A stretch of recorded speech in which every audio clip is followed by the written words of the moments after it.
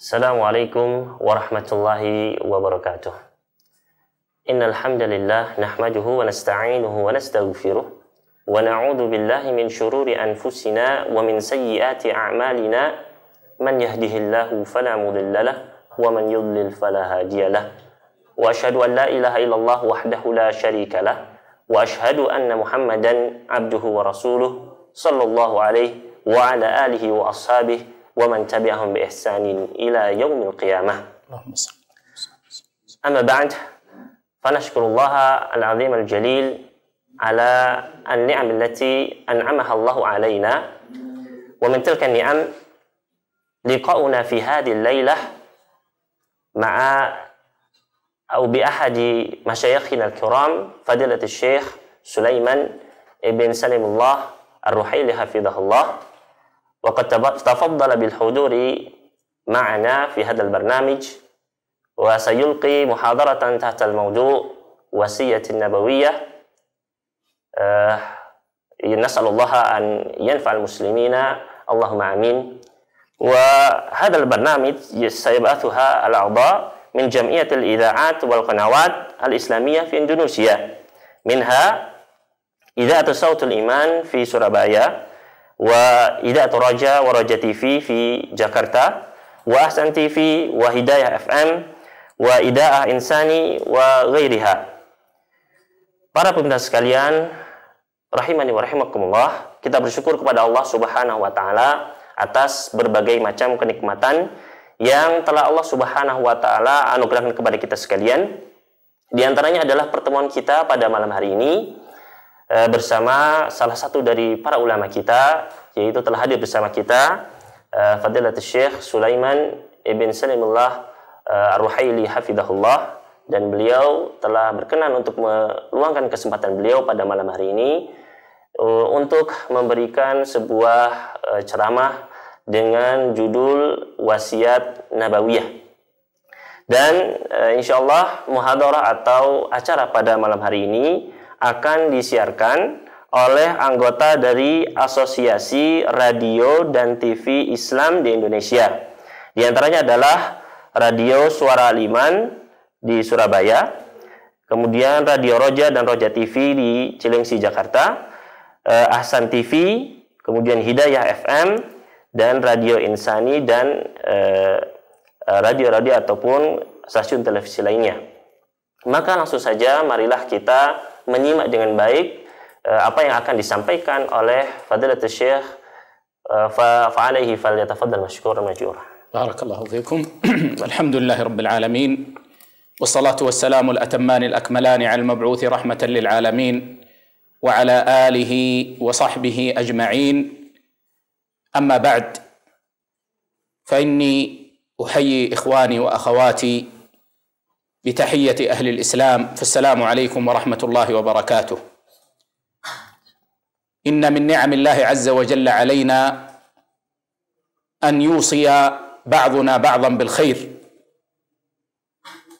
ومن المعلوم أن الناس يحبون الوصايا ويحرصون عليها لأنهم يعلمون أن الذي يوصي هو الذي يكون حكيما عليما. وبمقدار علم الإنسان تعظم وصيته. فكيف إذا كانت الوصية من رسول الله صلى الله عليه وسلم؟ الذي هو بالمؤمنين رؤوف رحيم. لا شك أن كل مسلم ومسلمة ينبغي أن يهتم بوصايا النبي صلى الله عليه وسلم. فكيف إذا علمنا أن هذه الوصية من آخر وصاياه؟ صلى الله عليه وسلم. لا شك أنها ستكون أعظم. فكيف إذا علمنا أن النبي صلى الله عليه وسلم وصى بها معاذا وهو بتلك المنزلة العلية عند رسول الله صلى الله عليه وسلم؟ وهذا يدل على أن هذه الوصية لا يستغني عنها أحد. لا يستغني عنها عالم لعلمه. ولا كبير لسنه ولا نسيب لشرفه ولا حاكم لحكمه ولا محكوم لما عنده. لا يستغني عنها أحد. إذ لو كان أحد يستغني عنها لاستغنى عنها معاذ رضي الله عنه. كيف لو علمنا أن النبي صلى الله عليه وسلم وصى بها معاذا وهو يحبه؟ وقد أقسم أنه يحبه. والمعلوم أن الإنسان إذا كان يوصي من يحب فإنه يعظم له الوصية. هذه هي الوصية التي سنعطر أسماعنا بها هذه الليلة. نسمعها ونتدبر معانيها. فنصيحتي لإخواني وأخواتي أن يحضروا قلوبهم وأن يلقوا أسماعهم. وان يفهموا هذه الوصيه وان يعملوا بها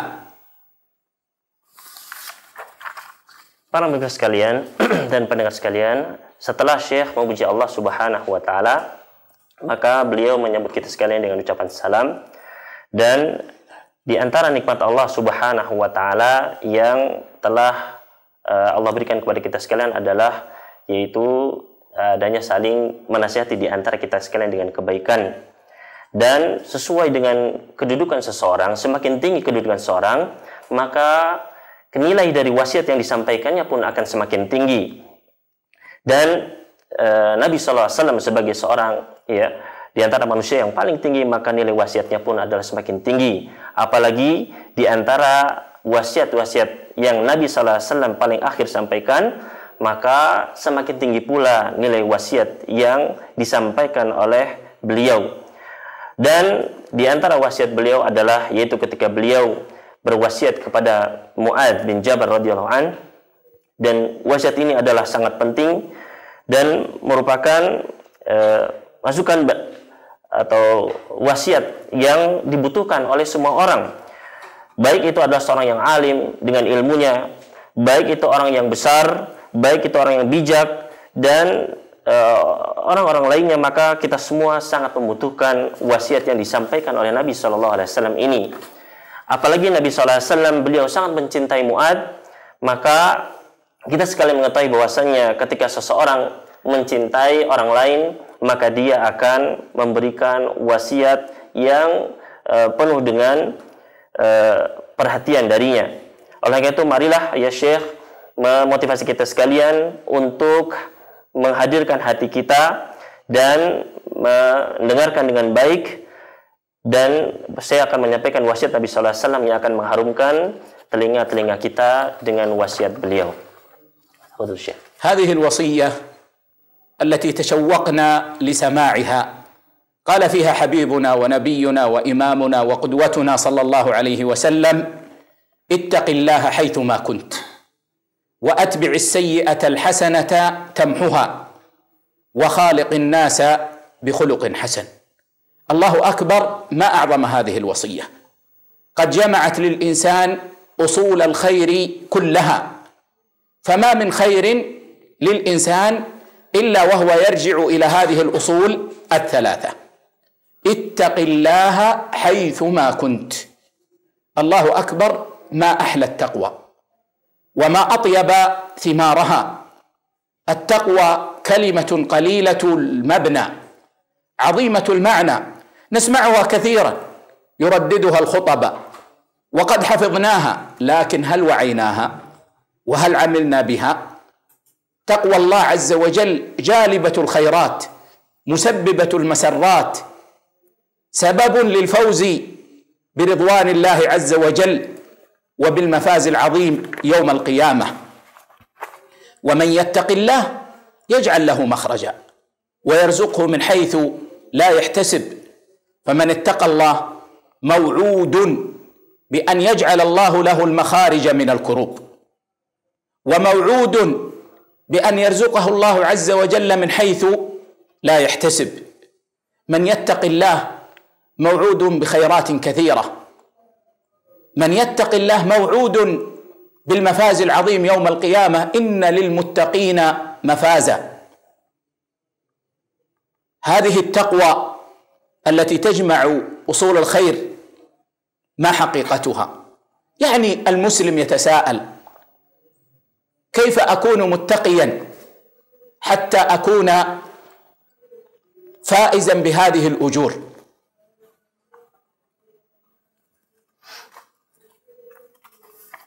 تفضل Nah. Dan wasiat yang kita merindukannya untuk kita mendengarnya yang disampaikan oleh Nabi sallallahu alaihi wasallam kepada Muad adalah sabda Nabi sallallahu alaihi wasallam ittaqillah haitsu kunta bertakwalah engkau dimanapun engkau berada dan ikutilah kejahatan itu atau keburukan itu dengan kebaikan maka ia akan menghapusnya betapa indahnya wasiat ini betapa besarnya wasiat yang disampaikan oleh Rasulullah SAW ini di mana tidaklah ada kebaikan melainkan semuanya kembali kepada wasiat yang mulia ini yaitu adalah wasiat untuk bertakwa betapa indahnya takwa betapa mendalamnya makna takwa.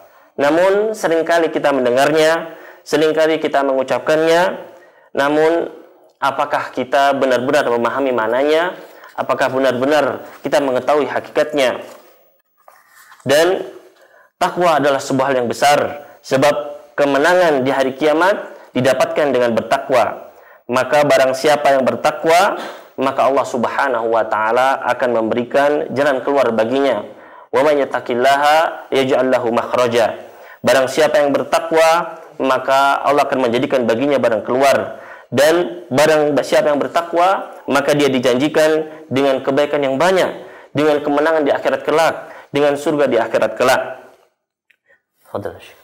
التقوى أيها المؤمن المبارك وأيتها المؤمنة الطيبة خلاصتها أن تعمل بطاعة الله على نور من الله ترجو ثواب الله وان تترك معصيه الله على نور من الله تخاف عقاب الله.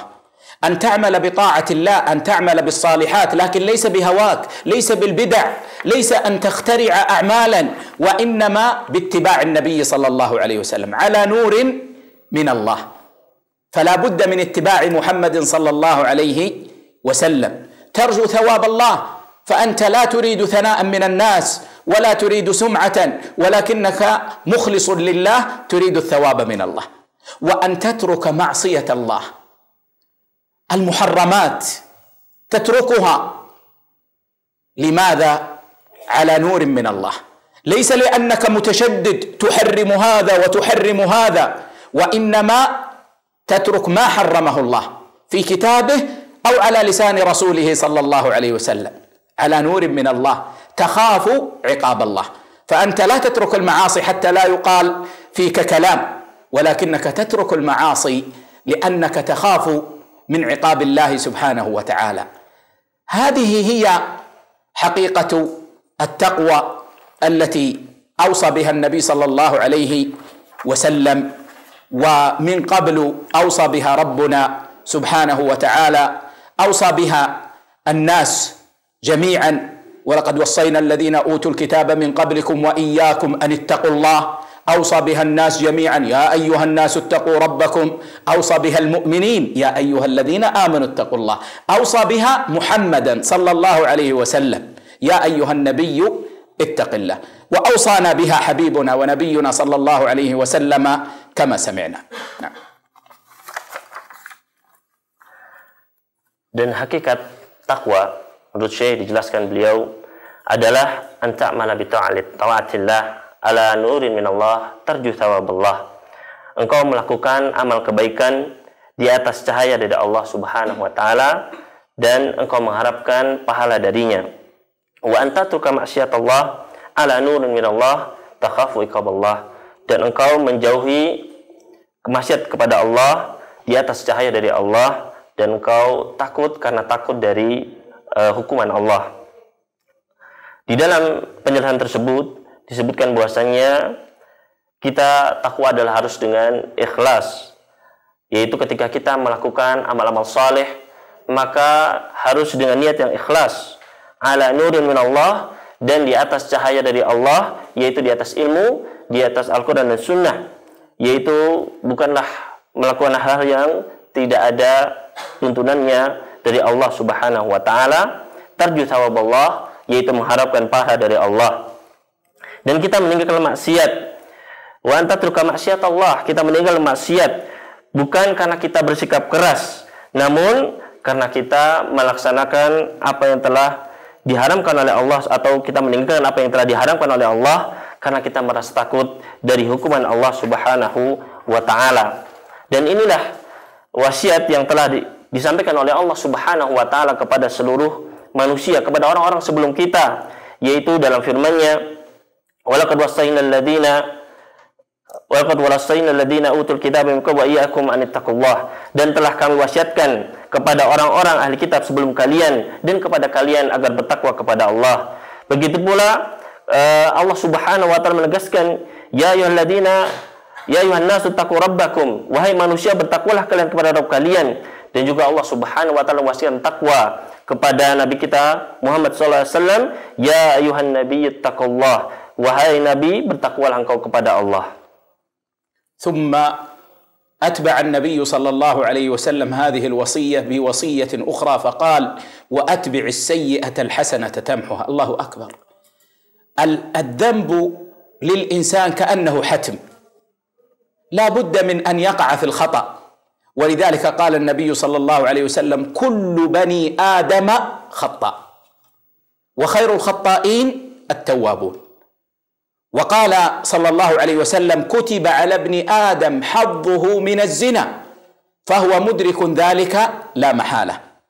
فالعينان زناهما النظر والسمع زناه المنطق والنفس تشتهي وتتمنى والفرج يصدق ذلك أو يكذبه. والمقصود هنا أنه كتب على ابن آدم حظه من الذنب وليس خصوص الزنا. ولذلك النووي رحمه الله الإمام النووي في شرحه لصحيح مسلم بوب على هذا الحديث ما يدل على أنه كتب على ابن آدم حظه من الزنا أو من الذنب.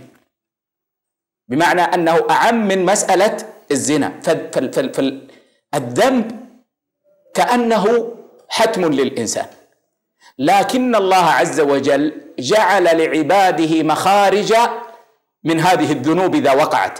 فإذا زلت القدم فمما تكفر به الذنوب أن يتبع المسلم السيئة الحسنة. لكن لنتأمل هنا تاملا لطيفا. النبي صلى الله عليه وسلم قال وأتبع السيئة الحسنة. وأتبع. وهذا يدل على المبادرة والمسارعة. لا تقل بعد شهر بعد شهرين بعد أن أكبر سأتوب. لا. مباشرة أتبع السيئة بحسنة. ولأن النبي صلى الله عليه وسلم قال إن العبد إذا أذنب ذنبا نكتت في قلبه نكتة سوداء. فإن تاب منها ونزع سقل منها مسحت. وإن زاد زادت حتى ترين على قلبه. فلا بد من المسارعة. ولا يصلح التسويف. وأتبع السيئة الحسنة تمحها إن الحسنات يذهبن السيئات كما قال ربنا سبحانه وتعالى. ومن أعظم السيئات التي تذهب من أعظم الحسنات التي تذهب السيئات التوبة التي يفرح الله عز وجل بها ويبدل بها السيئات حسنات وامر بها المؤمنين جميعا وتوبوا إلى الله جميعا ايها المؤمنون لعلكم تفلحون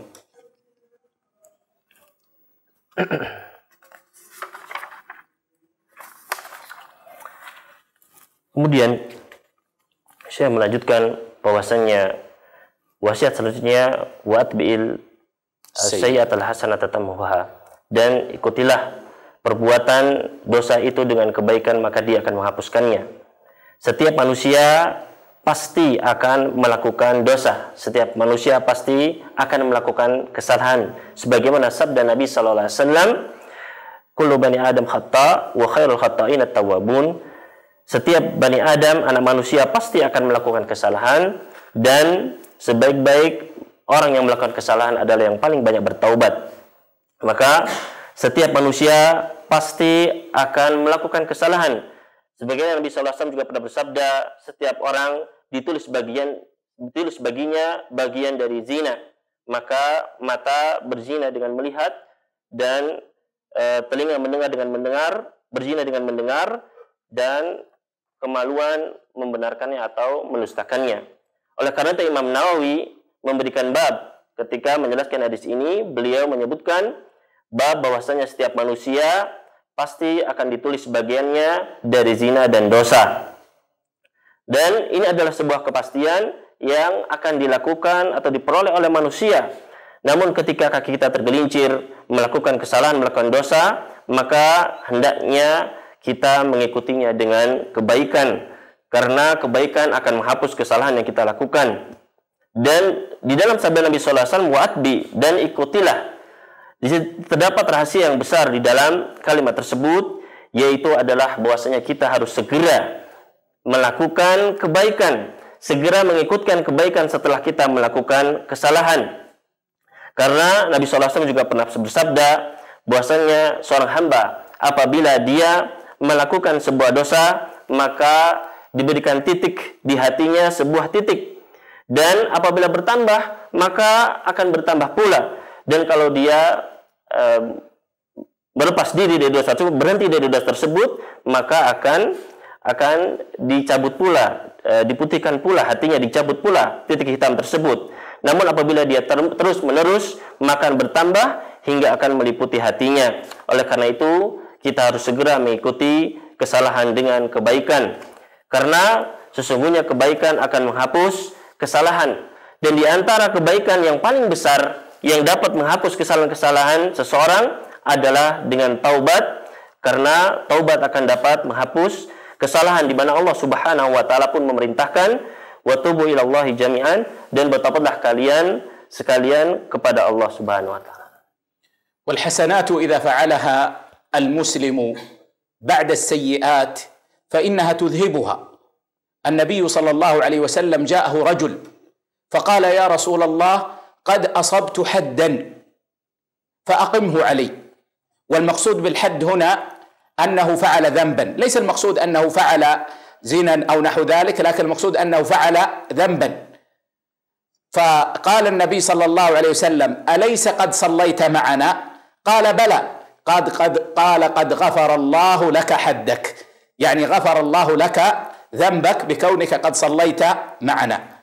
وقال صلى الله عليه وسلم الصلوات الخمس والجمعة إلى الجمعة ورمضان إلى رمضان مكفرات لما بينهن ما اجتنبت الكبائر. وهذه من رحمة الله بنا. هناك مكفرات يومية نغتسل بها كل يوم وهي الصلوات الخمس. وهناك مكفرات أسبوعية نغتسل بها من الذنوب كل أسبوع وهي الجمعة إلى الجمعة. وهناك مكفرات سنوية وهي رمضان إلى رمضان. ولكن شرط هذا أن تجتنب الكبائر. فإن الكبائر لا تذهبها الأعمال الصالحة بل لا بد فيها من توبة. ولكن الكبا ولكن الأعمال الصالحة تذهب عنا صغائر الذنوب. فإن لم توجد صغائر تخفف عنا أثر الكبائر. فكلما فعل المسلم عملا صالحا خفت عنه الذنوب وهذا من رحمة ربنا بنا. لكني أنبه إلى مسألة مهمة جدا. إياك يا عبد الله أن تغتر برحمة الله. وتغتر بلطف الله فتجترئ على معاصي الله. إياك مثلا أن تقول لا بأس إذا أنا سأعمل المعاصي وأذهب إلى المسجد أصلي الظهر تذهب المعاصي. لا الجرأة على الله قد تعظم المعصية حتى تصبح كبيرة. ولكنك يا عبد الله كن خائفا من الله. لا تفعل المعاصي أصلا. فإذا زلت القدم بسبب من الأسباب ووقعت في معصية لا تقل خلاص أنا ليس في خير وتذهب وتعمل المعاصي وتكثر منها لا ارجع إلى الله عز وجل وأتبع السيئة الحسنة تمحها نعم dan uh, kebaikan jika dilakukan setelah uh, melakukan dosa maka kebaikan tersebut akan menghapuskan dosa-dosa yang kita lakukan. Di dalam sebuah hadis datang seorang laki-laki kepada Nabi Shallallahu Alaihi Wasallam dan dia mengatakan, "Qad asabtu haddan." dan aku telah melakukan sebuah dosa. Had di sini adalah sebuah perbuatan dosa, bukan berarti zina ya ataupun perbuatan yang harus menyebabkan had, namun sebuah dosa. Kemudian Nabi SAW bertanya kepada sahabat tersebut, "Alaisa qad shallaita ma'ana?" Bukankah engkau sudah sholat bersama kami? Kemudian apa kata Nabi SAW? Qad ghafarallahu dan baka. Sungguhnya Allah Subhanahu wa taala telah mengampuni dosamu. Dan ini adalah karena Nabi SAW pernah bersabda, As-salawatul khams wal jum'ah ila jum'ah wa ramadan ila ramadan. Salat Jumat, salat yang lima waktu, Jumat ke Jumat lainnya, Ramadan menuju Ramadan selanjutnya, maka itu semua mukaffiratun akan menghapuskan dosa-dosa selama kita menjauhi dosa besar. Maka ada dosa-dosa yang kita bersihkan yaitu lima kali dalam sehari ya setiap harinya yaitu dengan kita melaksanakan sholat yang lima waktu dan ada dosa-dosa yang kita bersihkan setiap bulannya yaitu dengan kita melaksanakan sholat Jumat dan ada dosa-dosa yang kita bersihkan setiap tahunnya yaitu dengan kita melaksanakan atau puasa di bulan Ramadan akan tetapi Eh, kita tetap harus berusaha untuk menghilangkan atau menghindari dosa-dosa dosa-dosa khususnya dalam ini ada dosa besar karena Nabi SAW memberikan sebuah syarat yaitu majtunibatil kabair selama dosa-dosa besar itu kita jauhi. Apabila ada dosa besar, maka kita harus menghapusnya dengan taubat. Kemudian ya salat kemudian Jumat dan Ramadan yang kita lakukan maka itu semua akan menghapuskan dosa-dosa kecil. Adapun dosa besar, maka dia apabila tidak ada dosa kecil, maka dosa besar itu akan di, dikurangi. Namun hati-hati ya, kita sekalian jangan sampai kita tertipu dengan alasan karena rahmat Allah Subhanahu wa taala.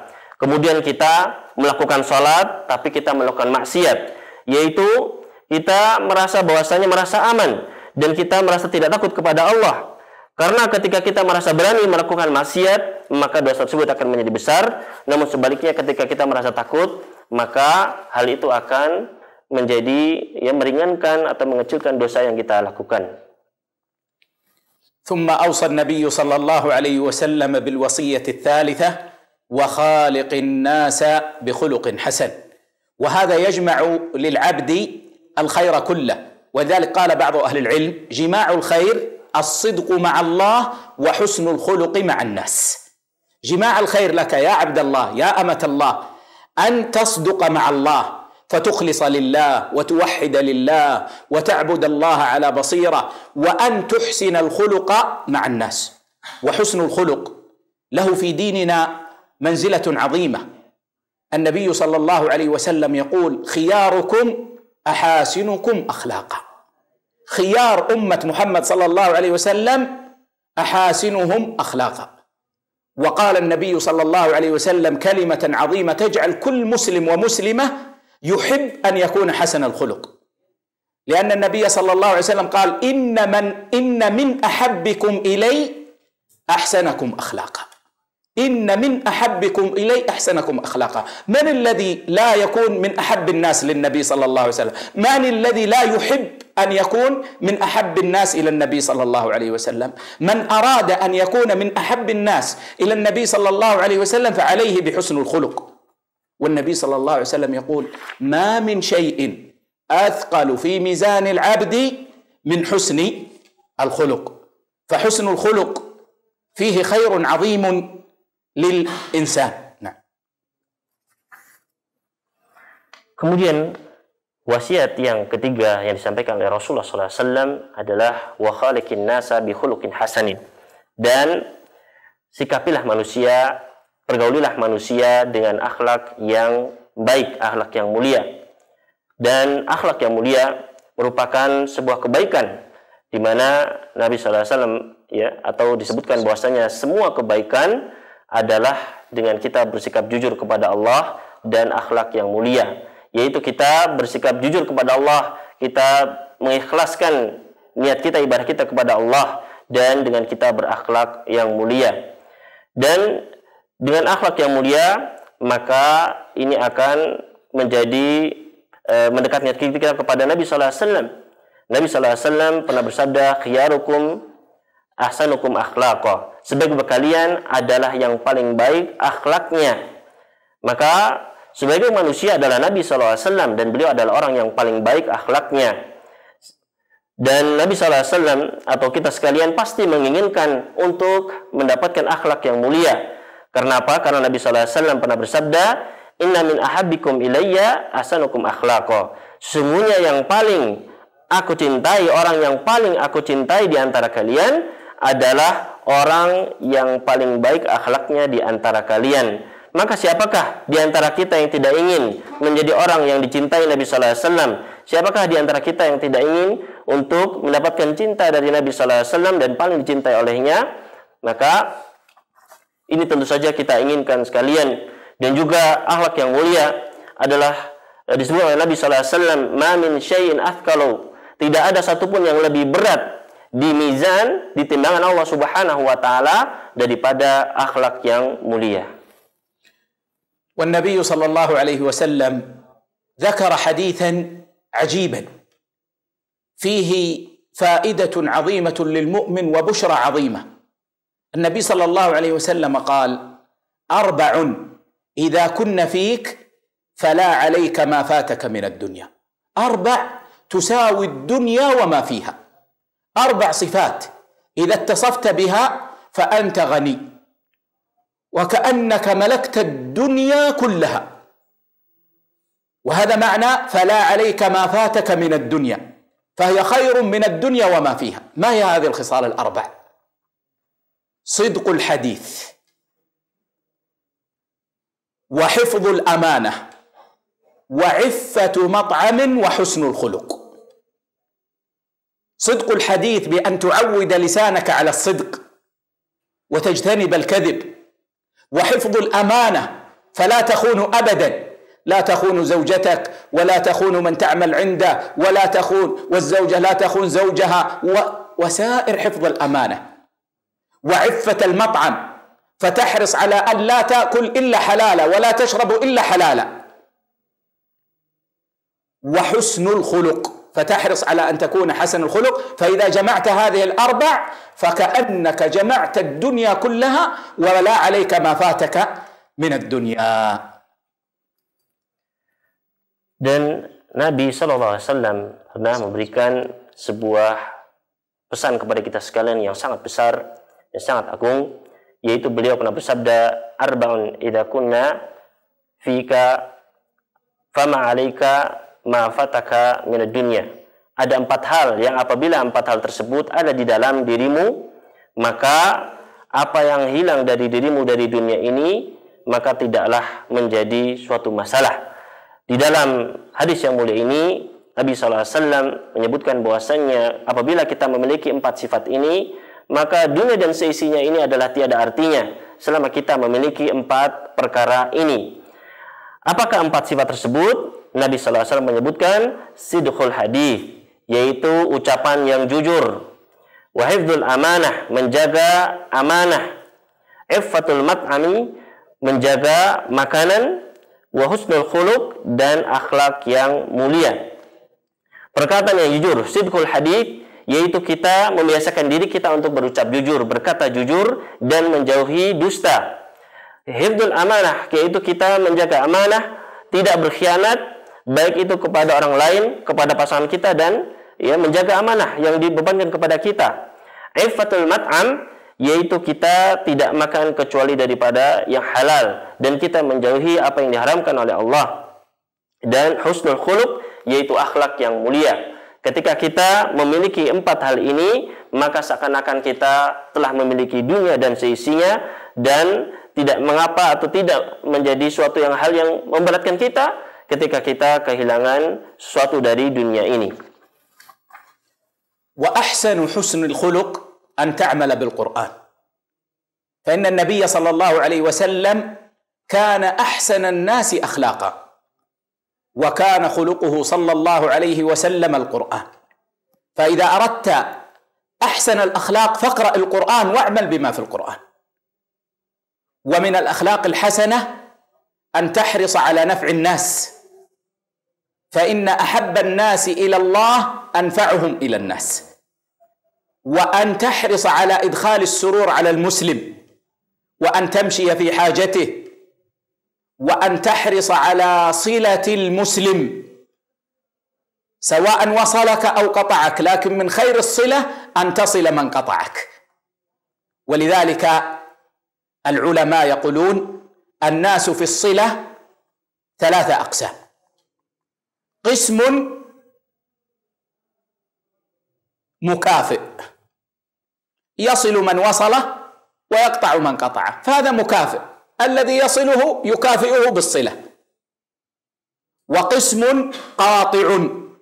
وهذا والعياذ بالله فعل محرما إذا كانت المقاطعة من أجل الدنيا. لأن النبي صلى الله عليه وسلم قال لا يحل لمسلم أن يهجر أخاه فوق ثلاث. يلتقيان فيعرض هذا ويعرض هذا وخيرهما الذي يبدأ بالسلام. وقسم هو الواصل في الحقيقة وهو الذي يصل من قطعه. فإذا قطعه قريبه وصله وبادر بالمواصلة فهذا من عظيم حسن الخلق ومن حسن الخلق أن تحرص على الا تحسد ولا تحقد. ما أسهلها من كلمات لكن ما أصعبها من عمل. الإمام أحمد رحمه الله سئل عن حسن الخلق فقال لا تحسد ولا تحقد. بمعنى أن تطهر قلوبك أن تطهر قلبك وتصفيه للمسلمين. وهذا أمر وان كان يمكن ان يدعى لكن تطبيقه صعب فيحتاج الى جهاد ولذلك هو من احسن الاخلاق نعم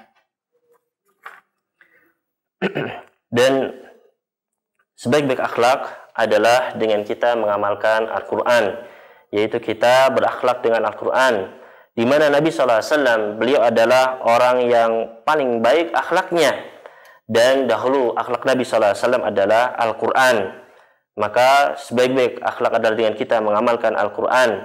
Kemudian dan kita berusaha untuk memberikan manfaat kepada manusia dan berusaha untuk memberikan ya, apa yang kita mampu kepada mereka.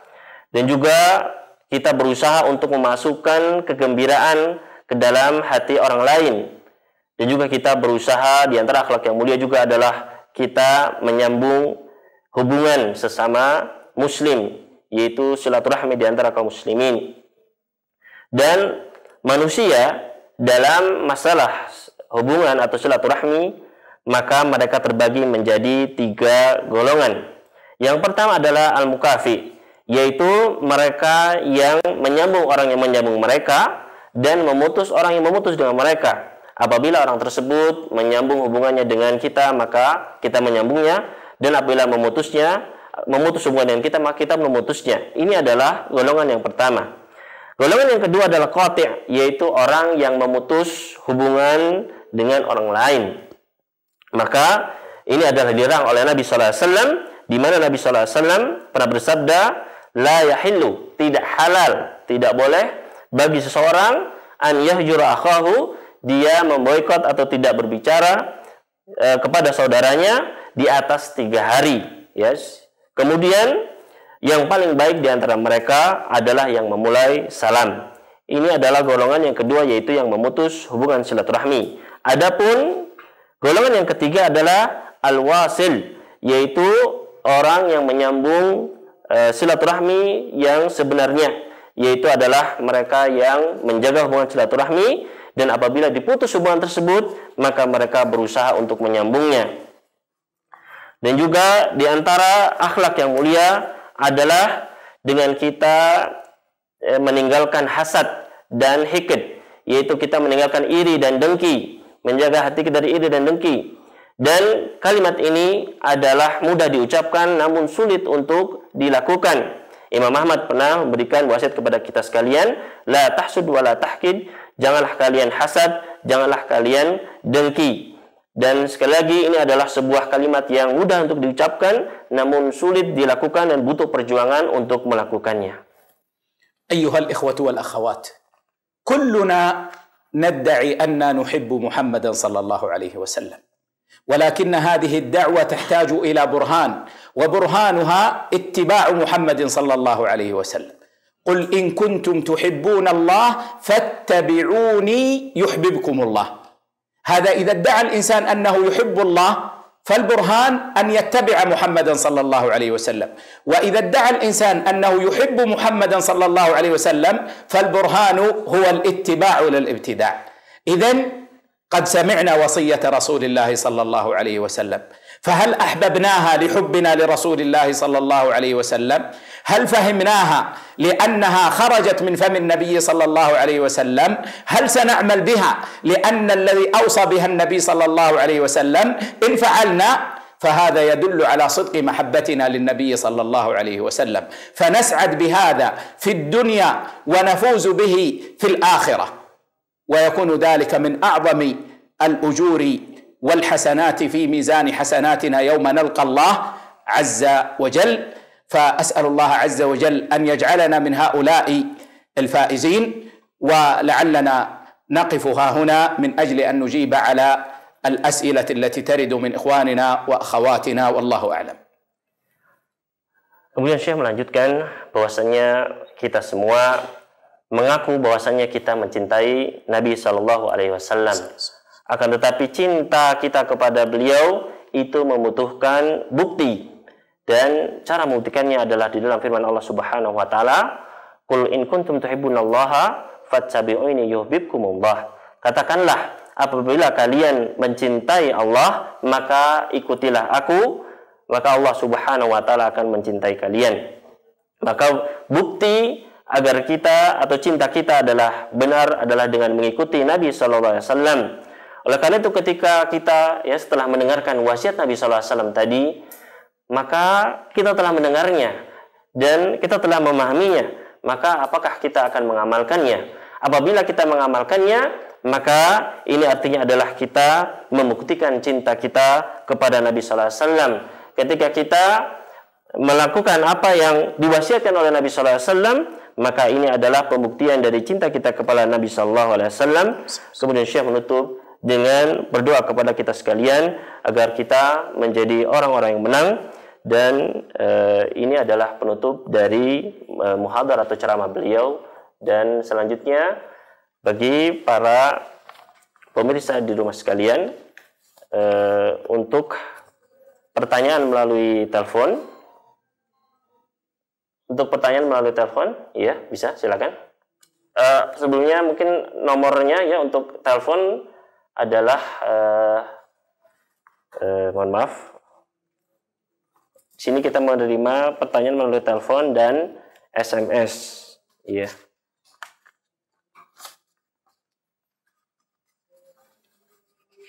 Maaf dari pihak radio, ya. Telepon yaitu 021 823 6543. Adapun SMS melalui 08 777 846. Sekali lagi telepon e, melalui itu telepon melalui e, mohon maaf telepon melalui berapa tadi 021 021 823 6543 Adapun SMS melalui 0873 kali 04 kali 846 ya. Kami persilakan kepada para e, pemeriksa maupun pendengar di rumah sekalian.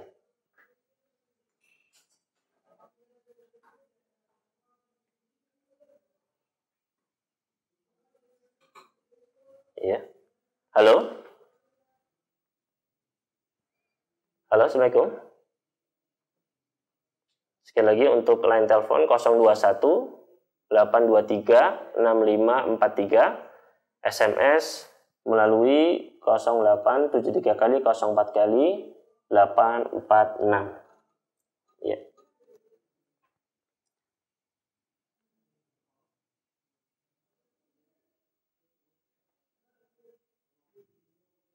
Halo, Assalamualaikum.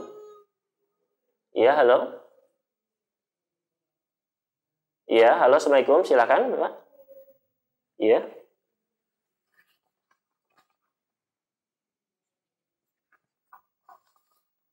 Dengan siapa ini?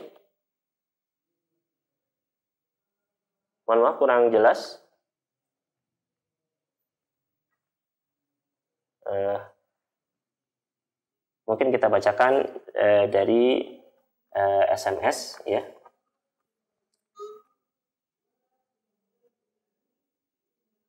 هناك سؤال شيخ عبر الرسالة قصيرة فضيلة الشيخ ما رأيكم بإيسيس أو داعش التي انتشر في العراق وسوريا هل موافق للإسلام شكرا طيب تترجم السؤال عشان ya pertanyaannya adalah bagaimana pendapat Syekh tentang ISIS ya yang merebak di Irak dan Syria apakah sesuai dengan ajaran Islam? Ini dari uh, Bapak Ihsan di Gresik. Tafadhal Syekh. من المعلوم أن الله عز وجل بعث محمد صلى الله عليه وسلم رحمة للعالمين بعثه بدين كله خير وكله رحمة وكله إحسان وفهمه صحابة رسول الله صلى الله عليه وسلم فهما سليما وعملوا به عملا مستقيما ونشروا ذلك بين الناس فأحب الناس دين الله عز وجل. إلى أن ظهرت طائفة تظن أنها أفهم لدين الله من صحابة رسول الله صلى الله عليه وسلم.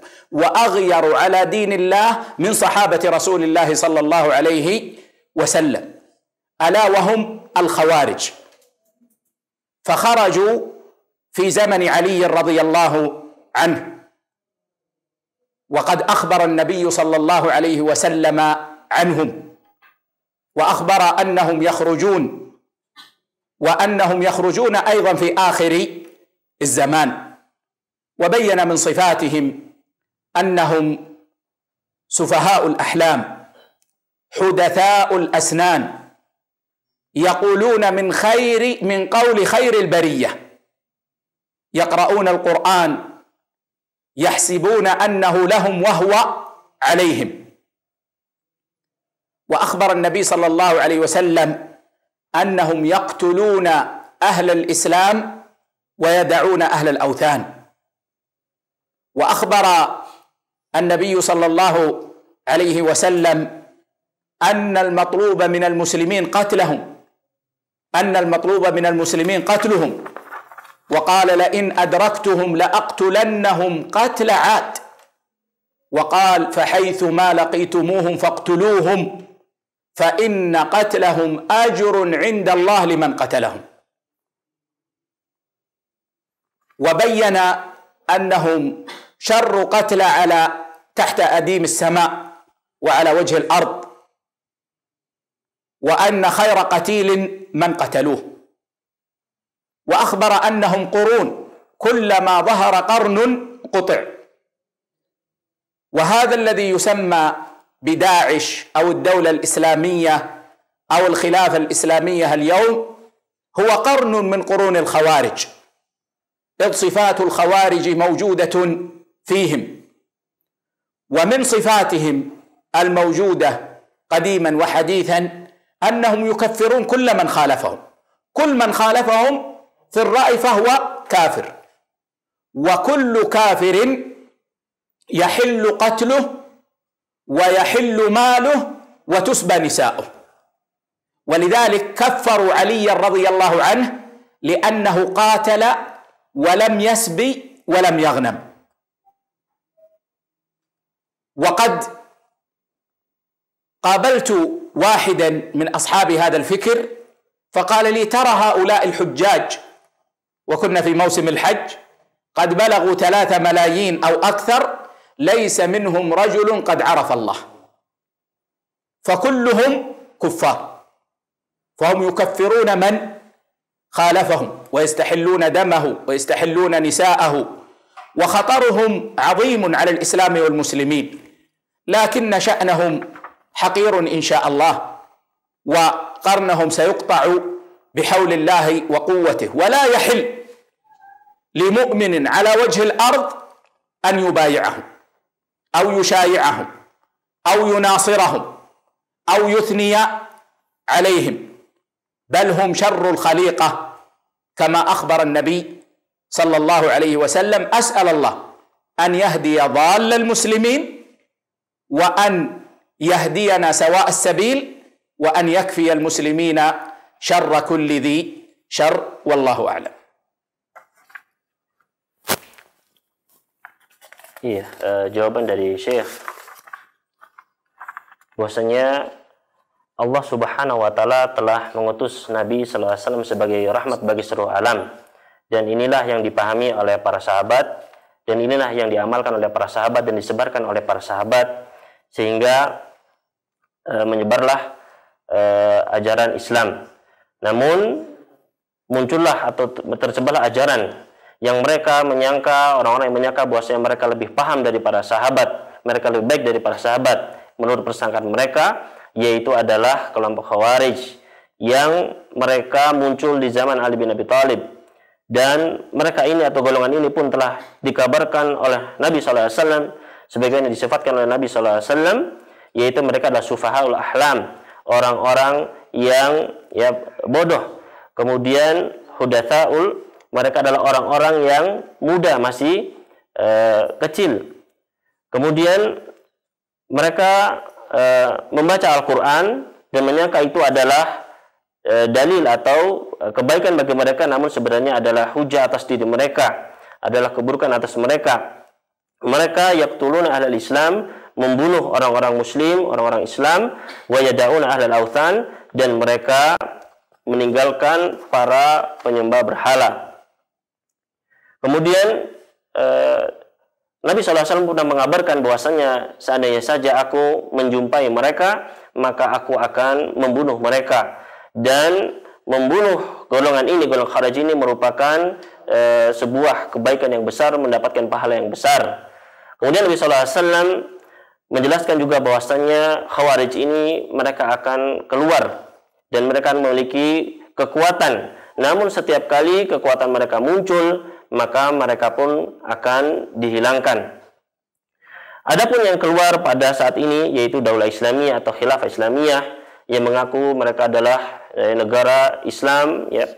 Maka ini adalah salah satu dari golongan-golongan Khawarij yang di mana sifat mereka di antaranya adalah mengkafirkan orang-orang yang menyelisihi mereka sehingga mereka menghalalkan untuk membunuh orang yang mereka kafirkan dan mereka menghalalkan hartanya untuk diambil dan mereka pun e, menjadikan atau e, istri-istri mereka atau para wanita sebagai budak.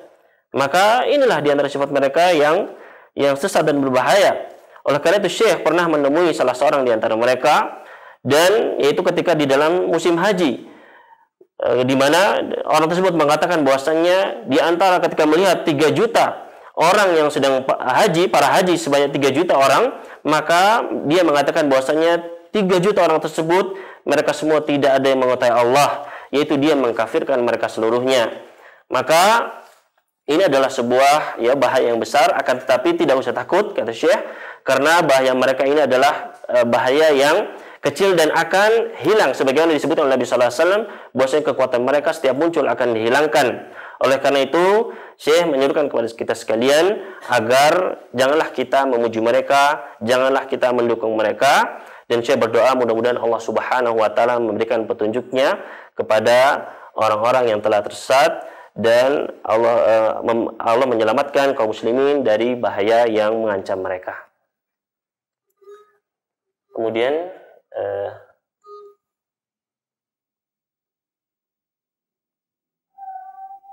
Saya ke soal. Eh, bagaimana kiat menjaga diri dari hasad dan iri? كيف الطريقة في حفظ النفس من الحسد والحقد هذا سؤال عظيم ويدل على خير ولله الحمد والمنة في السائل من أعظم ما تحفظ به النفس من الحسد والحقد أن تعلم أن هذه أرزاق يقسمها الله عز وجل بين عباده.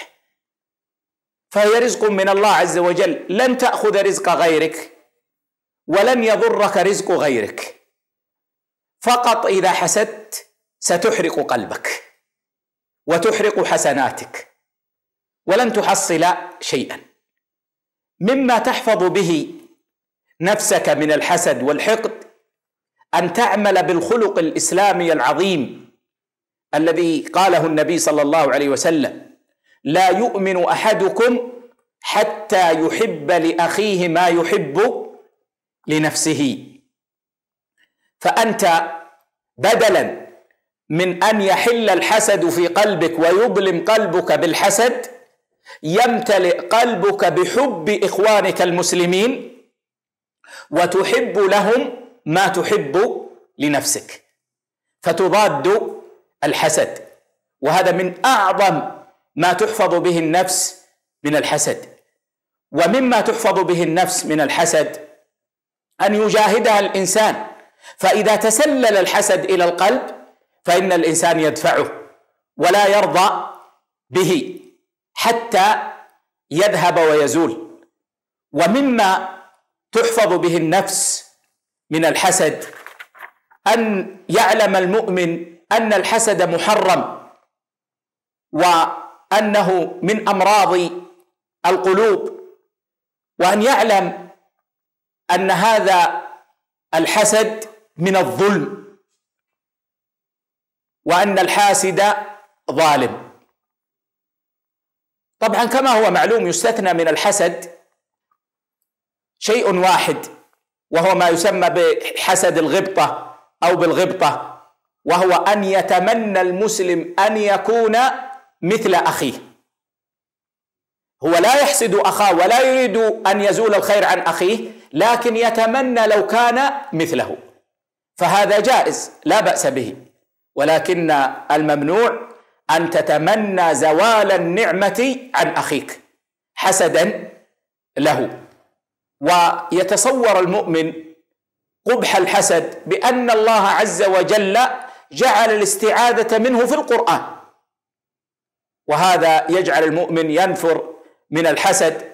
يعني يا أخي تصور أنك تحسد فيكون يستعاذ منك في القرآن. ومن شر حاسد ومن شر حاسد إذا حسد. فأنت إذا جاءك الحسد تذكر هذه الآية. انه يستعاذ بالله من شرك وتدخل في جمله حاسد اذا حسد فكيف ترضى لنفسك بهذا المقام الدني والله اعلم Iya. Uh, Syekh mengatakan atau menjawab bahwasanya pertama adalah uh, pertanyaan ini adalah pertanyaan yang besar dan uh, merupakan hal yang sangat baik bagi yang penanya yaitu di antara cara yang bisa kita lakukan untuk menjauhkan hasad dari diri kita yaitu kita mengetahui bahwasanya rezeki adalah telah dibagi oleh Allah Subhanahu wa taala. Maka rezeki yang diperoleh oleh orang lain itu tidak akan membahayakan diri kita dan rezeki kita pun tidak akan mungkin diraih oleh orang lain. Apa yang telah ditentukan oleh Allah bagi kita, maka tidak akan mungkin diraih oleh orang lain. Kemudian di antara hal yang bisa menjauhkan hasad yaitu kita melaksanakan sebuah akhlak Islam yang sangat agung yaitu adalah dengan kita mencintai apa yang kita cintai untuk orang lain. Nabi SAW pernah bersabda, La yu'minu ahadukum hatta yuhibba li akhi ma yuhibba li nafsih. Tidak beriman salah seorang di antara kalian sampai dia mencintai bagi saudaranya apa yang dia cintai bagi dirinya sendiri. Maka kita memenuhi hati kita dengan cinta kepada kaum muslimin. Kita e, berempati kepada mereka. Maka inilah e, yang akan me, menjauhkan hasad dari hati kita. Kemudian yang lainnya adalah dengan kita yaitu berjuang menjauhkan hasad dari diri kita. Setiap kali hasad itu masuk merasuk ke dalam hati kita maka dia tolak dan kita tidak ridho dengannya yaitu caranya adalah dengan kita mengetahui bahwasannya uh, hasad adalah suatu yang muharram, suatu yang diharamkan dan dia adalah di antara penyakit-penyakit hati dan hasad ini adalah kezaliman. Maka orang yang melakukan hasad dia adalah orang yang melakukan kezaliman, seorang yang zalim. Dan uh, saya melanjutkan bahwasanya dikecualikan dari hasad ini yaitu al-ghibtah. Ghibtah yaitu adalah kita mengharapkan untuk memiliki apa yang dimiliki oleh orang lain tanpa mengharapkan kenikmatan itu hilang dari dirinya. yaitu kita tidak mengharapkan atau menghilangkan uh, kebaikan tersebut dari dirinya. Adapun hasad, maka kita berangan-angan atau ingin memiliki apa yang dimiliki orang lain dan berharap agar kenikmatan itu hilang dari orang yang kita hasadi. Dan bagaimana mungkin kita merasa ridho, merasa tenang dengan hasad, sedangkan Allah Subhanahu wa taala telah menyebutkan di dalam Al-Qur'an agar kita berlindung dari hasad ini. Dan bagaimana kita bisa merasa hasad ya dan bagaimana kita bisa tenang dengan hasad yang ada di dalam diri kita sedangkan orang lain berlindung dari diri kita dengan Al-Qur'an yaitu di dalam firman Allah Subhanahu wa taala wa min syarri hasidin idza hasad dan dari kejahatan orang yang hasad apabila dia hasad dari kejahatan orang yang mendengki apabila dia mendengki maka ingatlah selalu ayat ini ketika hasad itu masuk ke dalam hati kita bahwasanya ketika kita hasad iri kepada orang tersebut maka orang tersebut adalah berlindung kepada Allah dengan ayat Al-Quran dari diri kita karena hasad di dalam diri kita. Uh, kemudian melalui line telepon ada Halo? Ya, halo? Halo, Assalamualaikum. Belum ada masih. Iya. Baik, kita beralih kepada uh, eh, SMS. Uh, eh, pertanyaan, ya Syekh, uh, tolong nasihatnya agar kami senantiasa istiqomah di jalan yang dilalui Rasulullah dan para sahabatnya dari Syarif di Kalimantan Selatan. Soal Syekh, uh, Syekh narju nasihatakum likai nakun mustaqimina ala at-tariq allati alladhi salakahu ar-rasul sallallahu alaihi wasallam wa ashabuhu ما الطريق إلا ذلك أحسنت في هذا السؤال أول طريق أن نجتهد في الدعاء. اهدنا الصراط المستقيم.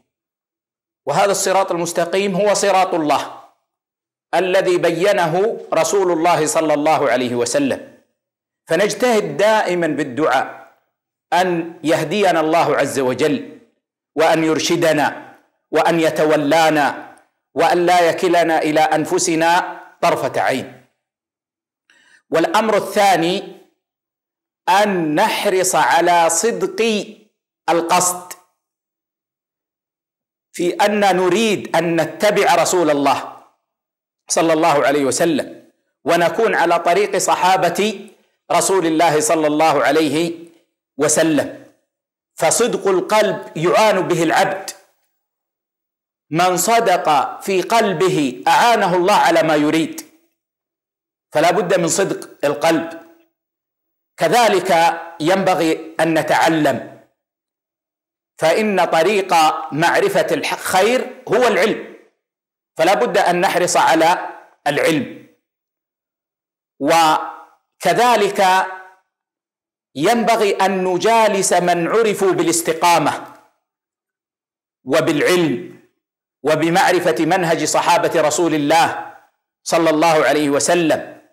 فإن في مجالستهم بركة ويتعلم الإنسان منهم.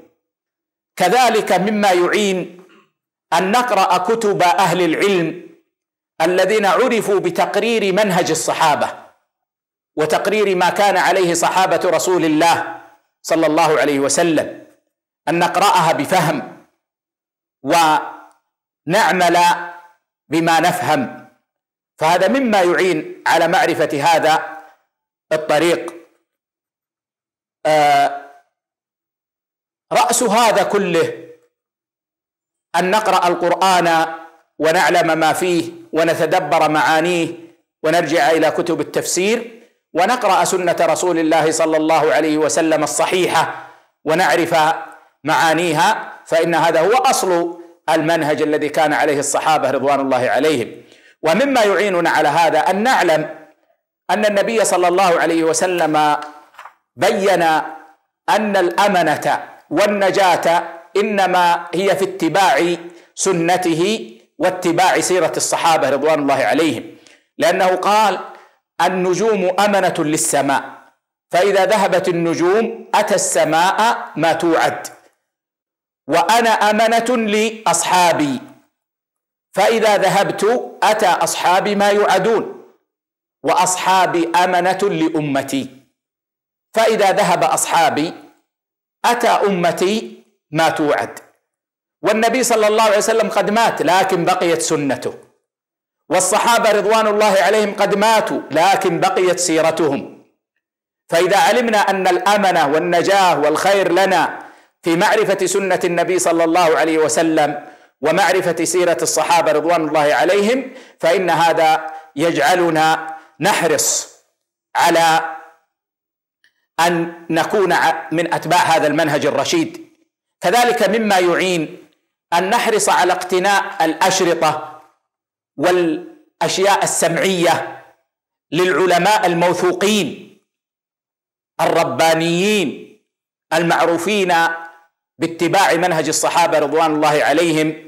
فهذا كأنه مجلس علم معهم نستفيد به معرفة ما كان عليه صحابة رسول الله صلى الله عليه وسلم ويحاط ذلك من قبل ومن بعد بالإخلاص لله عز وجل واللجوء له سبحانه وتعالى. Uh, Syekh menjawab bahwasanya soal ini adalah soal yang baik sekali. Dan di antara cara-cara agar kita bisa istiqamah di uh, atas jalan yang ditempuh oleh Nabi SAW dan para sahabatnya yang pertama adalah dengan al-ijtihadu fi doa yaitu kita bersungguh-sungguh di dalam berdoa yaitu di mana kita membaca atau di dalam Al-Qur'an disebutkan ihdinas siratal mustaqim tunjukilah kami kepada jalan yang lurus. Dan yang lurus adalah jalan Allah yang telah dijelaskan oleh Nabi sallallahu alaihi wasallam yang uh, kita berdoa agar Allah Subhanahu wa taala menunjuk kita kepada jalan tersebut dan tidak ya membebankan membiarkan ke, uh, beban tersebut di, menangguhkannya kepada diri kita walaupun hanya sekejap mata. Kemudian uh, di antara cara untuk agar kita bisa istiqamah adalah dengan kita sidkul qasd filittiba yaitu kita meluruskan niat kita, maksud kita ya, kita bersikap jujur uh, dalam mengikuti sunnah Rasul Shallallahu alaihi wasallam agar kita benar-benar dalam mengikuti sunnah Rasul Sallallahu Alaihi Wasallam. Karena dengan kejujuran inilah Allah Subhanahu Wa Taala akan membantu kita dalam kebaikan Barang siapa yang jujur di dalam hatinya, maka Allah Subhanahu wa taala akan membantunya.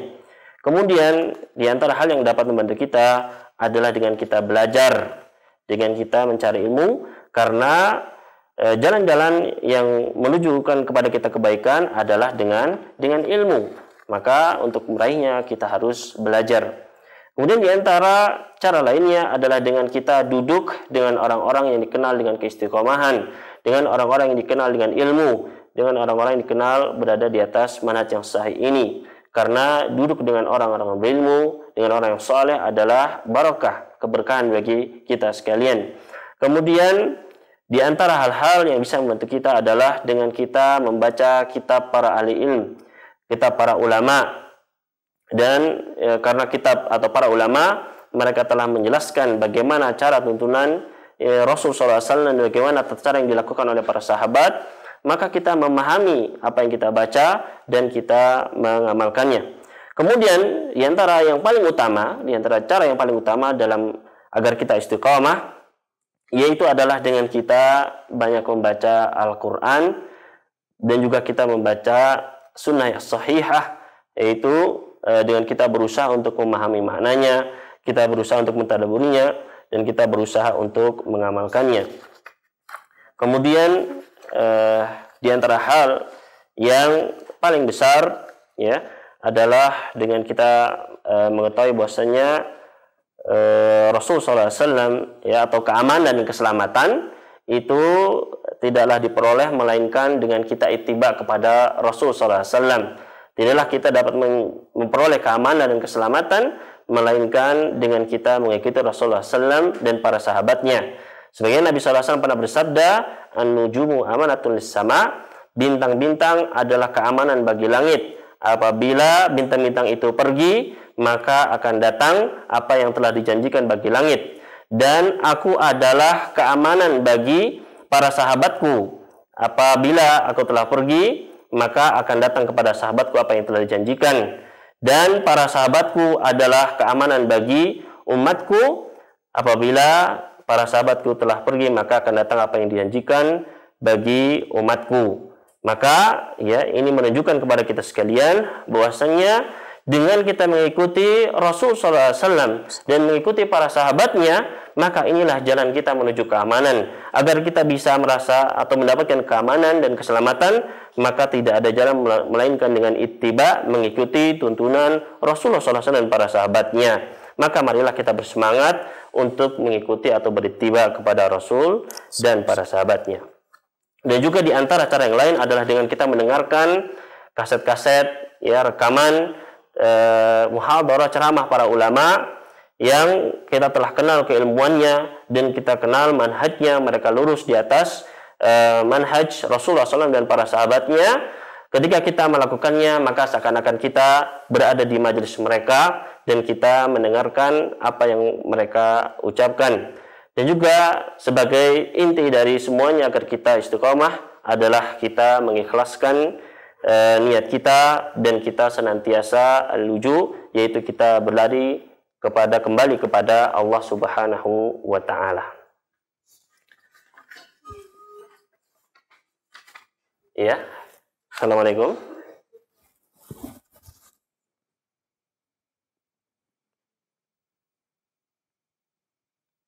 Assalamualaikum.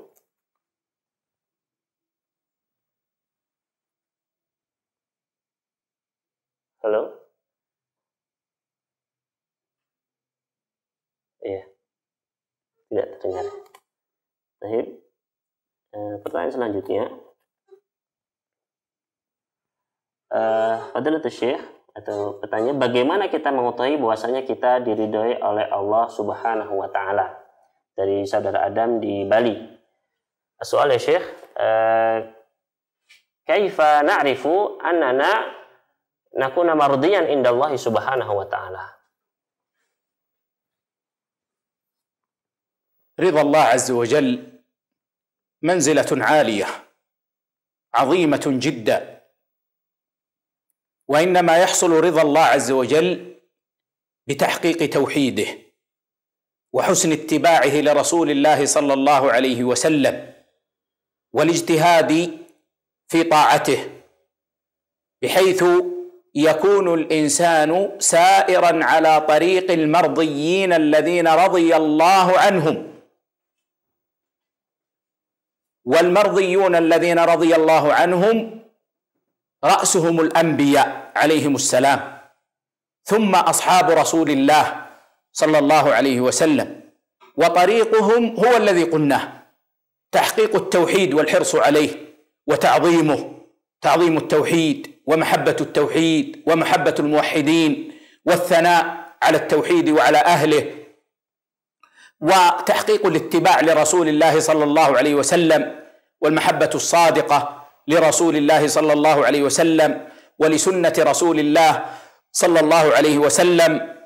ولمن يسيرون على سنة النبي صلى الله عليه وسلم والحرص على العمل الصالح والطاعات وعلى البعد عن المعاصي والمحرمات فإذا فعل العبد هذا فإنه يكون ممن سار في طريق الرضا ومن سار مخلصا يصل إن شاء الله عز وجل.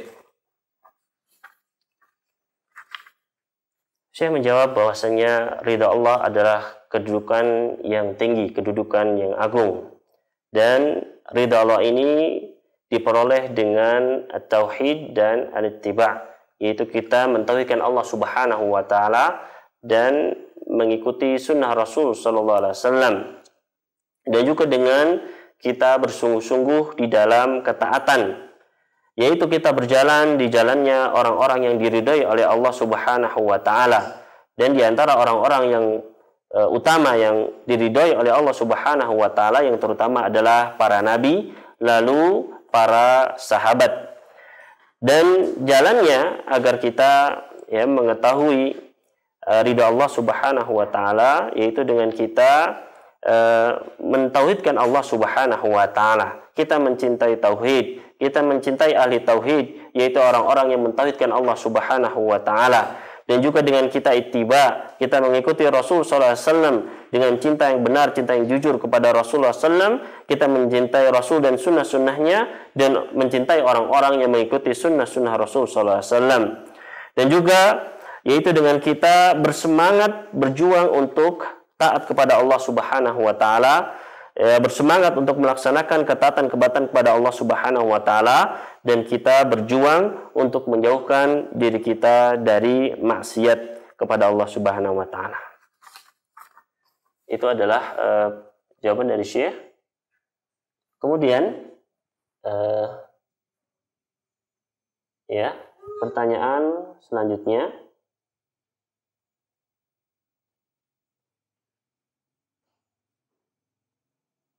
soal Syekh uh, kharij al-maudu ya. Beliau mengatakan saya ingin bertanya dua tema. Suami istri boleh bersentuhan tidak kalau selesai mengambil wudhu? Hal yajuzu li zawjaini uh, li zawd an uh, uh, yamas ini az-zawjah ba'da an yatawadda syekh. مس المرأة أعني مس الرجل لزوجته أو لامرأة ليست من محارمه محل خلاف بين أهل العلم. هل ينقض الوضوء أو لا ينقض الوضوء؟ والصحيح من أقوال أهل العلم أن المس أنواع. فإن كان المس بشهوة أدت إلى خروج شيء من المذي أو نحوه فهذا ينقض الوضوء. فهذا ينقض الوضوء. فإذا مس الرجل المرأة وأحس بخروج شيء فإن هذا ينقض وضوءه. أما إذا كان المس بشهوة لكنه لم يخرج شيء وعلم الإنسان أنه لم يخرج منه شيء فالصحيح من أقوال أهل العلم أنه لا يكون ناقضا للوضوء. وأما النوع الثالث فهو المس بلا شهوة الذي يسميه العلماء مس الرحمة. ليس مس شهوة. كان يمسك بيد امرأته أو يريد أن يقيمها من مكانها أو نحو ذلك فهذا لا ينقض الوضوء وهو مس الرحمة. أما الملامسة المذكورة في الآية فالصحيح من أقوال العلم أن المراد بها هو الجماع وليس المراد المس باليد والله أعلم. Uh, saya menjelaskan bahwasanya uh, dalam masalah uh, seorang suami menyentuh manusia atau seorang laki-laki menyentuh wanita, ya, uh, maka hal ini adalah terdapat uh, perbedaan pendapat di antara ulama apakah membatalkan wudhu atau tidak. Dan para ulama menjelaskan bahwasanya sentuhan itu ada bermacam-macam, ya. Ada yang pertama adalah sentuhan yang tidak menyebabkan kelu atau sentuhan yang menyebabkan keluarnya madi. Ya sentuhan yang menyebabkan keluarnya madi maka ini adalah membatalkan wudhu adapun yang kedua yaitu sentuhan dengan syahwat tapi tidak e, keluar dari dari sang lelaki atau suami suatu pun maka ini adalah e, di antara atau pendapat ulama yang e, benar adalah tidak membatalkan wudhu.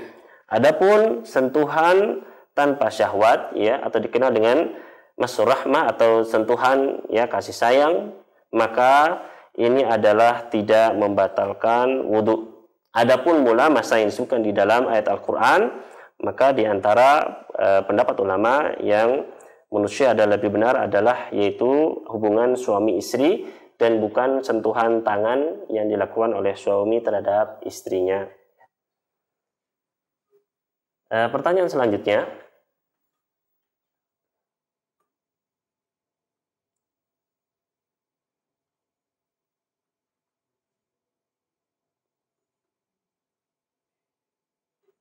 E, soal ya. E, atau saya bacakan dulu ya, jika seorang laki sudah mendidik istri dan anak-anak perempuannya atau saudara perempuannya dengan benar, tapi di antara mereka ada yang tidak taat, apakah uh, dia ya ap, bagaimanakah dengan uh, dirinya ya? Jika di, seorang laki-laki sudah mendidik istri dan anak-anak perempuannya, saudara perempuannya, tapi di antara mereka yang ada yang tidak taat.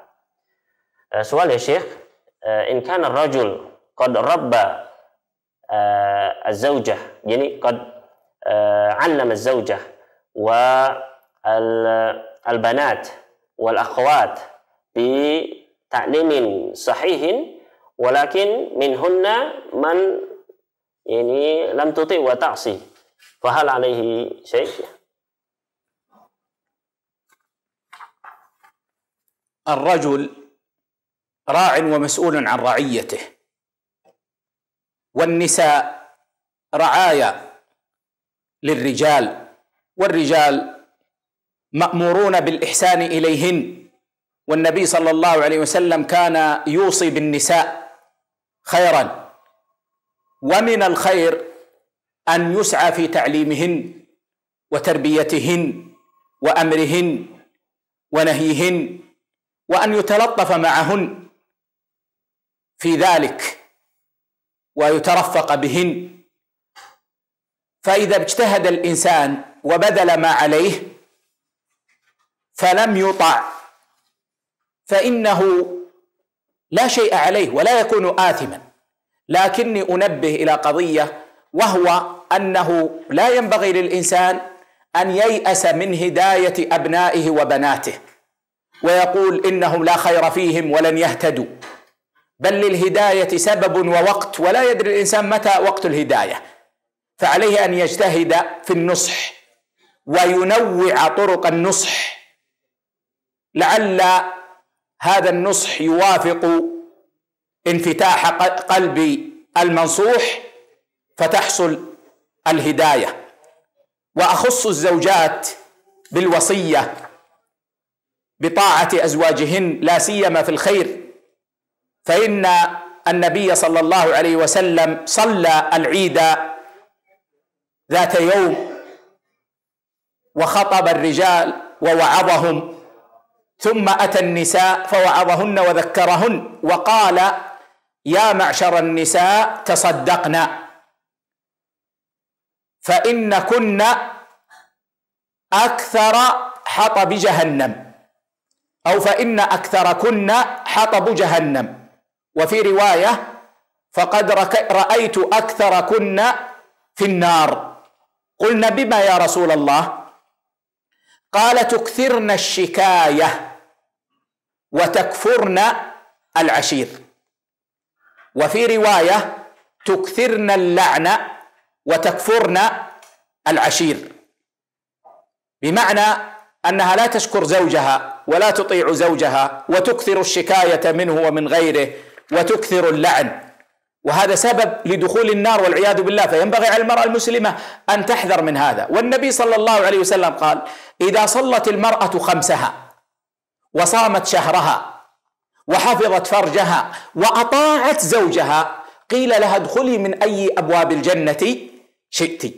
فهذا طريق الجنة. فأولا أوصي الزوجات والبنيات والأخوات بطاعة الرجال فيما يرشدون إليه من الخير. وأما المعصية فلا طاعة لمخلوق في معصية الله عز وجل وأوصي الرجال بحسن التربية وحسن العناية وحسن الخلق مع الأهل والرفق بالأهل.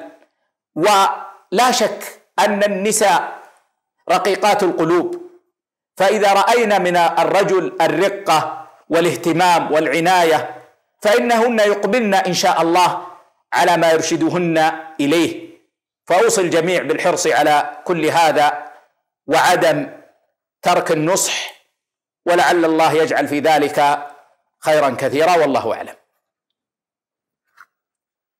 Syekh memberikan jawabannya yaitu bahwasannya seorang laki-laki maka dia bertanggung jawab dan dia adalah pemimpin bagi keluarganya dan seorang wanita atau para wanita mereka adalah orang-orang yang dipimpin oleh e, kaum laki-laki.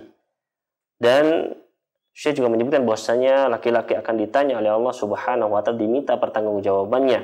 Oleh karena itu, kaum laki-laki harus mendidik ya kaum wanita, istri-istri mereka, anak-anak wanita mereka, saudari-saudari mereka dan dia harus berusaha untuk memperhatikan mereka, berusaha untuk bersikap lembut kepada mereka, bersikap kasih sayang kepada mereka.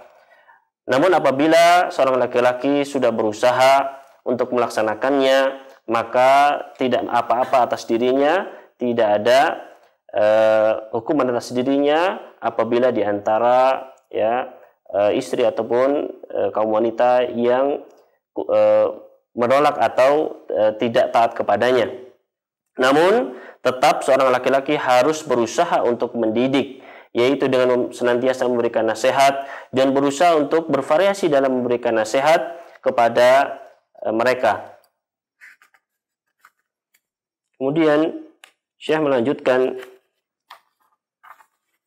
e, yaitu beliau berwasiat kepada para istri agar para istri taat kepada suami-suami mereka yaitu e, dalam sebuah hadis Rasulullah SAW pernah sholat id kemudian setelah beliau memberikan wasiat kepada kaum uh, pria, kaum muslimin, lalu beliau pergi untuk memberikan wasiatnya kepada kaum muslimat, para wanita.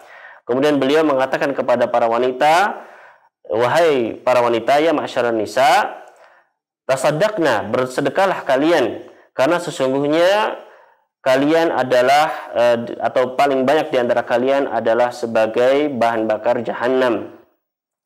Dan di dalam riwayat lain Nabi wasallam pernah menyebutkan bahwasannya aku telah melihat bahwasannya banyak di antara kalian yang berada di neraka. Sebabnya adalah Nabi SAW menyebutkan karena kalian banyak mengeluh dan kalian kufur terhadap suami kalian. Dalam riwayat disebutkan kalian banyak melaknat dan kalian kufur terhadap suami kalian. Mananya adalah yaitu para istri mereka kufur terhadap suami dan mereka tidak taat kepada suami mereka. Dan juga e, mereka banyak mengeluh. Dan semua itu adalah sebab yang bisa membawa mereka menuju neraka. Maka para wanita mereka harus benar-benar berhati-hati. Harus benar-benar menjauhi hal-hal tersebut. Dan Nabi SAW pernah bersabda Ida salatil atau khamsaha. Apabila seorang wanita melaksanakan sholat yang lima waktu yang diwajibkan atas dirinya dan dia berpuasa di bulan Ramadan dan dia menjaga kemaluannya dan dia taat kepada suaminya, maka dia dipersilahkan untuk masuk dari pintu surga mana saja yang dia inginkan.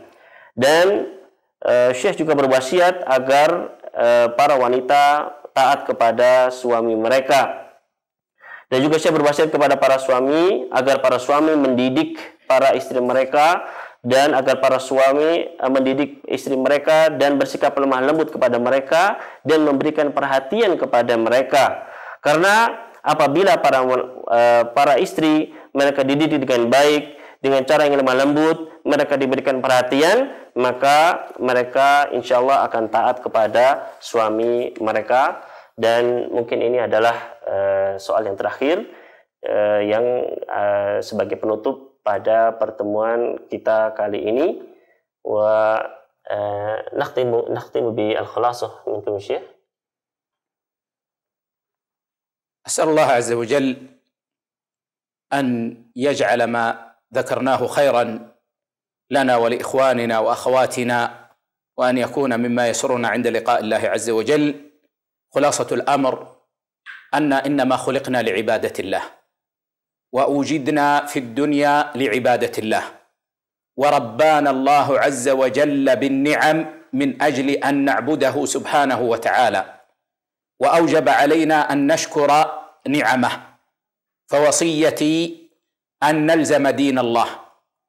وأن نقول آمنا بالله. وأن نستقيم على دين الله حقا وصدقا. وختاما أسأل الله عز وجل للمشاهدين والمشاهدات والمستمعين والمستمعات نورا في القلوب وسعة في الرزق وسعادة في البيوت وبركة في الحياة فإنهم تركوا ما حرم الله من الأمور المحرمة في أجهزة التلفاز هنا وهناك وأخذوا يستمعون إلى الحق والخير والهدى.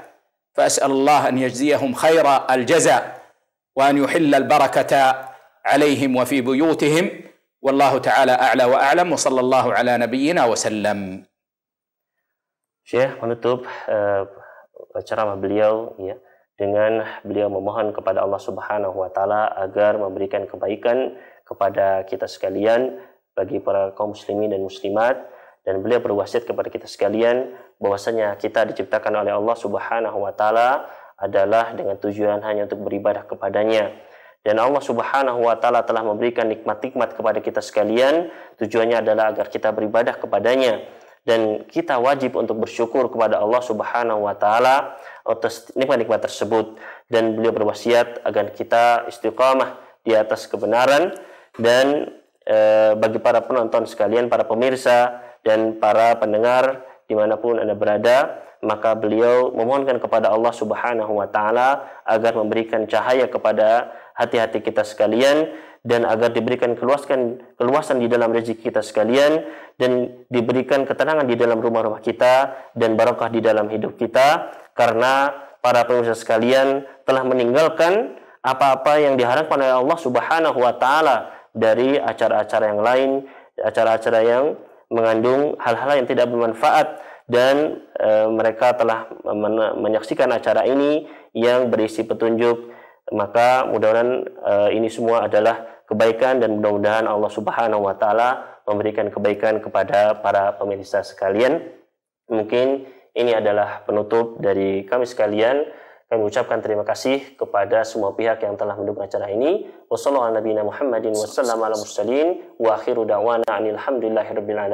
Wassalamualaikum warahmatullahi wabarakatuh.